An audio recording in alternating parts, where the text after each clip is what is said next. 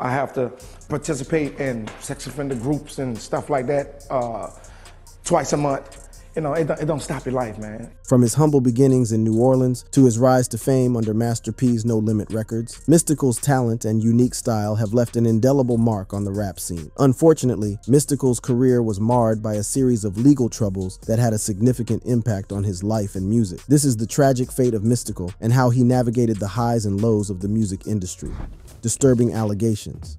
Mystikal born Michael Lawrence Tyler, had a challenging upbringing in the vibrant city of New Orleans, Louisiana. Growing up in the tough neighborhoods of Crescent City before entering the music industry, Mystikal took a detour in his life by joining the United States Army as a combat engineer. I still wanted to do something productive, but I was outside of school. I was enough of that sick of the you know? So I said I'd join the military and go get me a BMW or something, he revealed in an interview. However, in 1994, Michelle Tyler, Mystikal's sister's life was cut short, leaving the rapper and his family shattered. The aftermath of Michelle's murder was a scene of devastation and despair. Mystikal, who had been away at the time, returned home to find his sister's lifeless body. The sight was enough to shatter his world and leave an indelible mark on his soul. The pain and anguish he felt were immeasurable, and the questions surrounding his sister's death would haunt him for years to come. Music became Mystikal refuge, his solace in the face of unimaginable tragedy. He poured his heart and soul into his art as his true calling remained in music. In the early 1990s, Mystikal signed with Big Boy Records and released his debut album, Mystical Madness. Although the album didn't achieve mainstream success, it showcased his raw talent and distinctive style, setting the stage for what was to come. During this time, Mystikal also found himself embroiled in conflicts with other New Orleans rappers signed to rivals Cash Money Records. These feuds added fuel to the fire of his determination, driving him to prove himself as a force to be reckoned with in the rap game. Mystikal's career took a monumental turn when he signed with Master P's legendary label, No Limit Records. Under the guidance of Master P, Mystikal's talent flourished, and he quickly became one of the label's most prominent artists. In 2000, Mystikal released his fourth studio album, Let's Get Ready, which catapulted him to new heights of fame. The album debuted at the top of the Billboard 200 chart, solidifying Mystikal's status as a rising star in the music industry. It showcased his versatility as an artist, blending his signature raspy vocals with infectious beats and captivating storytelling. Two of the standout tracks from Let's Get Ready were Shake Your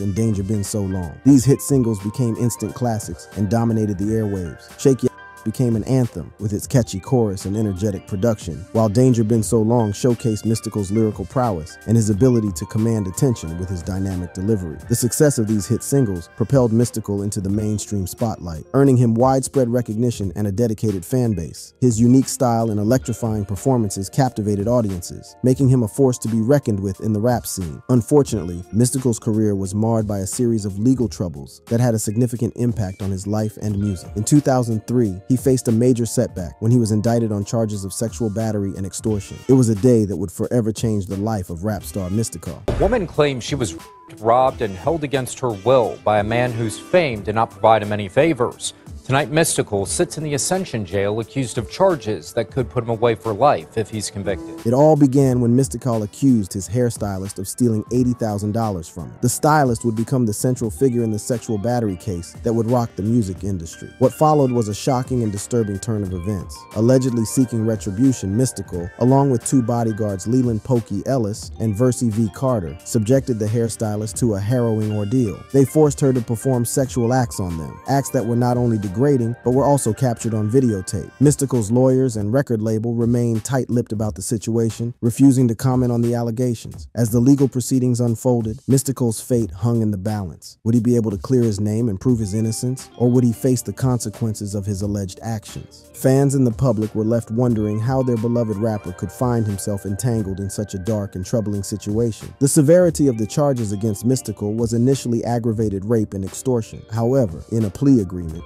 Mystikal pleaded guilty to a reduced charge of sexual battery and extortion. His lawyer had filed a motion to withdraw the guilty plea, but ultimately decided against it. The court. Proceedings shed light on the harrowing nature of the acts committed. A videotape of the incident was presented as evidence, providing a chilling visual account of the victim's ordeal. Judge Tony Marabella described the victim as terrorized and highlighted the severity of the crimes committed against her. Mystikal, along with his bodyguards, pleaded guilty to sexual battery charges. He also pleaded guilty to extortion. As a result, he was sentenced to six years in prison, while his bodyguards received prison sentences of three and four years. Mystikal paid the victim $350,000, borrowing $300,000 from his record label. The consequences of the case were far reaching. Mystikal's music career came to a halt, and he became a pariah in the industry. The once celebrated rapper's name became forever associated with the heinous acts he committed. Well, more bad news followed, as the rapper would not get any kind of special treatment in jail. He didn't show the victim any sympathy, and he doesn't get any sympathy or special treatment. So he will be in general population or, or will be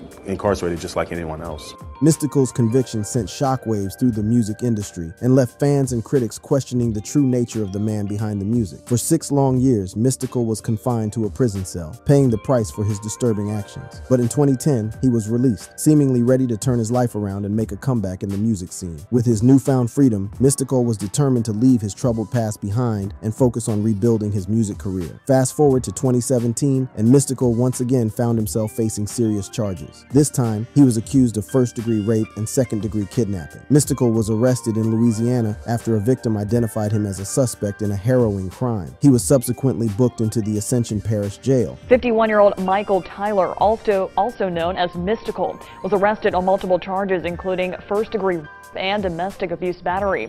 Detectives interviewed a victim at a hospital who sustained injuries. The investigation led to Tyler being identified as a suspect. In 2016, a horrifying incident took place at a Shreveport casino, Louisiana. Shreveport police obtained warrants for one count of first degree rape for the 46 year old rapper and a second individual named Averweon Holman, who was arrested in Killeen, Texas. Investigators collected statements from the victim and witness plus physical evidence. They submitted the physical evidence to the North Louisiana Criminalistics Laboratory for DNA analysis. The DNA evidence recovered by sex crimes investigators linked Mystikal and Averweon Holman to the alleged rape, securing warrants for them, each with one count of first degree rape. Their bond was set at $2 million each. While Mystikal surrendered, himself, the U.S. Marshals Task Force arrested Holman in Killeen, Texas on August 18, 2017. A 42 year old female associate named Tanicia Wofford of Harker Heights was also arrested and charged with one count of accessory after the fact to first degree rape. She allegedly sought the victim out in an effort to convince her to drop the charges against Mystikal and Holman. Her bond was set at $2 million.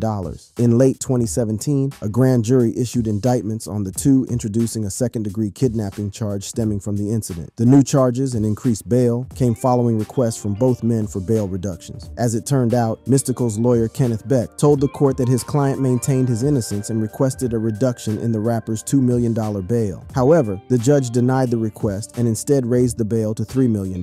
This prompted the lawyers to request for the judge to be changed. The lawyer of M Michael Tyler, aka Mystikal, asked Judge Ramona Emanuel to recuse herself from the case because she previously denied to lower his bond, and she agreed to step down. And Judge Brady O'Callaghan will now oversee the case. Nearly a year and a half after turning himself in on the rape charge, Mystikal was released from the Caddo Correctional Center on $3 million bond. It feels good. It feels good. Just grateful. Grateful for this opportunity to get my life back.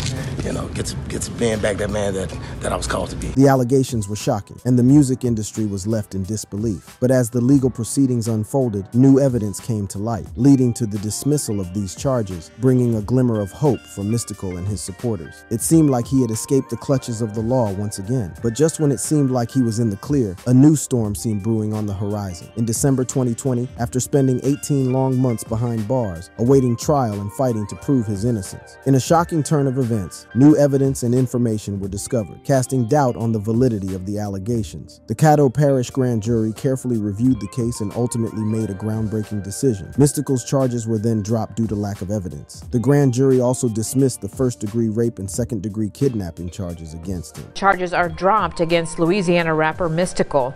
Michael Tyler was originally charged in 2017 for first degree rape and kidnapping. According to the Caddo DA's office, more evidence was discovered and the case was resubmitted to a second grand jury. That grand jury did not find enough evidence to charge Tyler. After spending 18 months in prison, Mystikal was finally released on bond, his spirits renewed with a glimmer of hope. The weight of the allegations that had haunted him for years began to lift as he stepped back into the world he had once known. Man one was f***ed up bad man, I was lost. It took me about a year, a year and a half to kind of readjust here, because I had totally disconnected when I was doing that time, Mystikal revealed an interview. Mystikal's legal troubles seem to be never ending, with this latest indictment adding to the long list of criminal counts he faces. On July 31st, 2022, Mystikal's world came crashing down once more. He was arrested again for beating and choking a woman at his Ascension Parish home during a heated argument over finances. It is alleged that before releasing the victim, Mystikal made the victim send him a $100 payment, which he claimed she stole from him, then later on, forced her to send an extra $150. The woman claimed that at first she refused Mystikal's demands, and he is accused of sexually assaulting the woman. The 51 year old was charged with criminal damage to property worth less than $1,000 and false imprisonment, all charges resulting in five offenses. Ascension Parish Sheriff's deputies, after an interview with the victim at Baton Rouge General Hospital, where the victim had showed up with bruises and cuts, and her damaged clothing, which were consistent with the account of an assault. According to the warrant, the woman further disclosed that the conversation before the attack seemed fine, but as she was about to leave for Walmart to pick up some items, Mystikal's demeanor changed. The woman alleged he struck her several times while confronting her about the $100. At some point, the affidavit said he picked up a pair of scissors and told her he would f her up and that she would need medical attention. She said that he seemed fine when they were initially talking. At some point, he stepped away, maybe to the restroom. He came back a completely different person. This reignited the flames of controversy and raised questions about his troubled past. These shocking allegations have left fans and critics stunned, wondering how someone with such a troubled history could find themselves in this situation once again. Rappers and sexual assault cases. As Mystikal remains incarcerated without bail, awaiting his trial, the world watches with bated breath to see what the future holds for this once promising artist. Will he be able to clear his name and rebuild his life, or will he face the harsh consequences of his alleged actions as some of the top rappers in the industry did? As it turns out, Mystikal is not the only artist who has found himself in such heinous cases. One of the biggest names in the music industry, R. Kelly, ended up behind bars because of similar charges. So how did a man who once seemed untouchable end up losing his freedom over allegations of sexual abuse to charges of child exploitation. I stand here very proud of my judicial system, very proud of my fellow survivors, and very pleased with the outcome. 30 years did he do this, and 30 years is what he got. In the late 1980s, a young and talented artist from Chicago, Illinois emerged onto the music scene. His name was Robert Sylvester Kelly, but the world would come to know him as R. Kelly. With his smooth vocals and undeniable charisma, electrifying performances, and his ability to craft chart topping hits, he was a force to be reckoned with, dominating the airwaves and capturing the hearts of millions. Kelly quickly made a name for himself in the industry. One of his most iconic songs, I Believe I Can Fly, became an anthem of hope and inspiration, solidifying his status as a musical powerhouse. The track soared to the top of the charts and earned Kelly numerous awards, including three Grammy Awards. With success came wealth and fame, and R. Kelly seemed to have it all. But behind the scenes, a darker side of his life was beginning to unravel that would forever tarnish R. Kelly's reputation and lead to his shocking downfall. A spokesman for the U.S. Attorney's Office in Chicago telling USA Today a federal grand jury has indicted Kelly on 13 counts, including child pornography, enticement of a minor, and obstruction of justice. It was in the early 2000s that the first major blow to Kelly's image occurred. A video surfaced, allegedly showing him engaging in sexual acts with an underage girl. The shocking revelation sent shockwaves through the industry and led to his arrest on child pornography charges. FBI forensics experts from Quantico have closely examined the tape. They tell us it's authentic. However, in 2008, Kelly was acquitted of all charges after the jury failed to reach a verdict. It was a controversial decision that left many questioning the justice system and the true extent of Kelly's actions. First of all, I'm not aware of anything like that, and and for people, unknown people, to make those um, statements against me is is is ridiculous. Despite the acquittal, the allegations of sexual abuse continued to haunt Kelly. Over the years, numerous women came forward with harrowing stories of manipulation, coercion, and abuse at the hands of the singer. Some even claimed that Kelly ran a sex cult where young women were allegedly held against their will. These shocking allegations painted a disturbing picture of a man who had used his fame and power to exploit and control others. In 2019, the documentary series Surviving R. Kelly aired, giving a voice to the survivors and shedding light on the dark underbelly of the music industry. The series reignited public outrage and led to renewed investigations into Kelly's actions. In 2021, Kelly faced his first federal trial on charges of racketeering, sexual exploitation of a child, and kidnapping. The trial lasted for several weeks, with multiple witnesses testifying against him. And in a shocking turn of events, he was found guilty on all counts. I just like you to know that you really hurt me. I was a little girl in like a bad man's world. I never really recovered from it. I'm really angry with you for what you're doing. But the legal battles were far from over. In 2022, Kelly faced a second federal trial, this time on charges of child sexual abuse. The evidence presented was damning, and once again, he was found guilty. The verdict sent shockwaves through the music industry and the world at large. In the aftermath of his convictions, Kelly's former manager, Donnell Russell, was sentenced to prison for stalking and harassing one of the singer's victims. It was a stark reminder that Kelly's actions had far reaching consequences for those involved. In January 2023, some charges against Kelly were dropped, but it was a small victory in the face of his mounting legal troubles. Just a month later, in February 2023, he was sentenced to an additional 20 years in prison for child sex crimes, a sentence that ensured he would spend the rest of his life behind bars. The story of R. Kelly's rise and fall, just like Mystikal's story, serves as a cautionary tale, reminding us of the importance of accountability and the devastating consequences that have led to a shift in the industry, with increased scrutiny and demands for accountability. Artists and industry professionals are now facing the consequences consequences of their actions, as the world recognizes the need for systemic change. A reminder that no one is above the law, no matter how successful or influential they may be. Just recently, Sean Diddy Combs, popularly known as P. Diddy, the renowned rapper and mogul, was hit by a wave of lawsuits alleging sexual assault and other heinous crimes. Cassie, the former girlfriend of P. Diddy, shared her own experiences suffered at the hands of Diddy. In response to the allegations, P. Diddy and his representative have vehemently denied the accusations, stating that they were baseless and without merit. They maintained that P. Diddy has always treated others with respect and dignity, and that these claims are part of a malicious attempt to tarnish his reputation. I have decided to resolve this matter amicably on terms that I have some level of control. I want to thank my family, fans, and lawyers for their unwavering support. The response from Combs and his representative has been one of denial, dismissing the allegations as made up and not credible. Just so we're clear, a decision to settle a lawsuit, especially in 2023, is in no way an admission of wrongdoing. Mr. Combs' decision to settle the lawsuit does not in any way undermine his flat out denial of the claims. He is happy they got to a mutual settlement and wishes Miss Ventura the best. Joi Dickerson Neal, a courageous survivor, has come forward in 2023 with disturbing allegations against Sean Diddy Combs. In her lawsuit, filed under the Adult Survivors Act, Dickerson Neal claims that she was attacked by Combs in 1991, subjected to drugging, sexual assault, and the distribution of revenge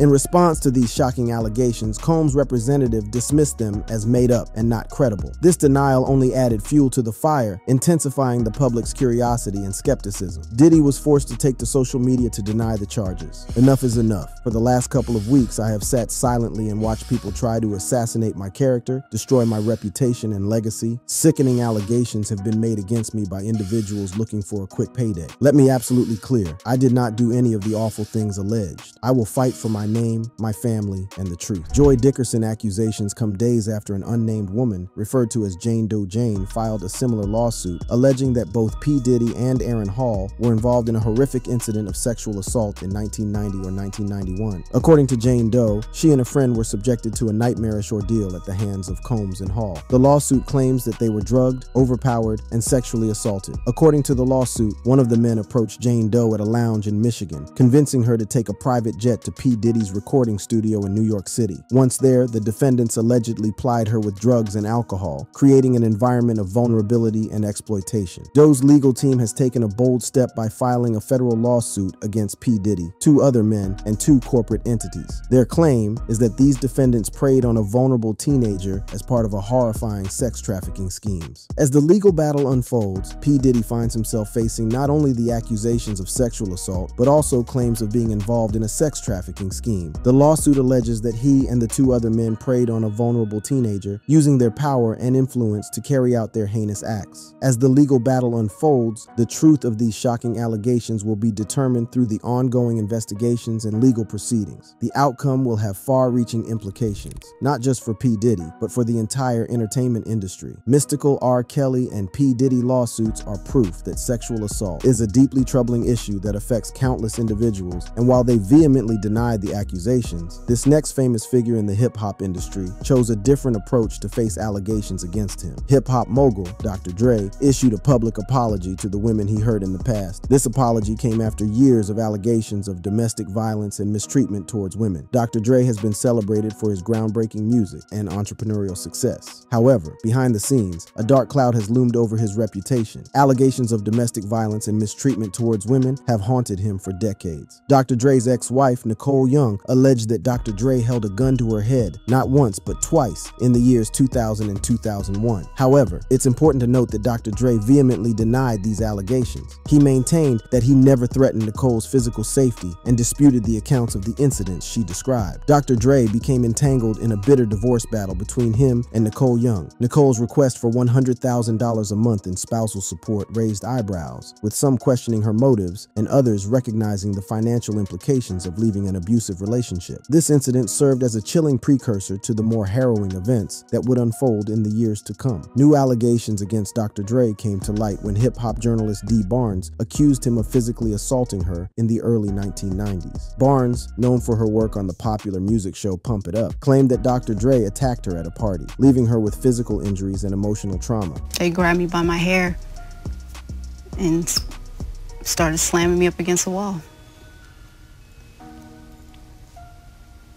It's, it is a, it's a painful and traumatic experience. But Barnes wasn't the only woman to come forward. R&B singer Mikalo, who was in a relationship with Dr. Dre, also spoke out about the emotional and physical abuse she endured during their time together. When one night we was arguing, he went and got the gun, and I just made it through the bathroom door and a shot, and he shot at me and he missed me by that much. These allegations have cast a shadow over Dr. Dre's legacy, raising questions about the treatment of women in the music industry and the responsibility of artists to be held accountable for their actions. And after years of silence, Dr. Dre finally broke his silence. In a public apology released on social media, he acknowledged his past behavior and expressed deep remorse for the pain he had caused to the women he hurt. The impact of Dre's apology extended beyond his personal life. It reignited the conversation about violence against women and the importance of holding individuals accountable, regardless of their status or influence. In his apology statement, he said, 25 years ago, I was a young man drinking too much and in over my head with no real structure in my life. However, none of this is an excuse for what I did. I've been married for 19 years, and every day I'm working to be a better man for my family, seeking guidance along the way. I'm doing everything I can so I never resemble that man again. I apologize to the women I've hurt. I deeply regret what I did and know that it has forever impacted all of our lives. If you enjoyed this video, click on the boxes playing on your screen to watch similar content.